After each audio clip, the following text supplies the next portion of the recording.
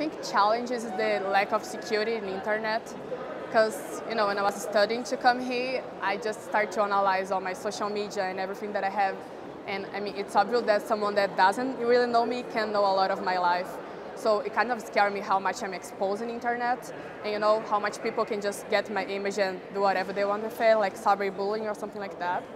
So I think we have to try to make internet a secure place. So this is the most you know fear that I have of using internet.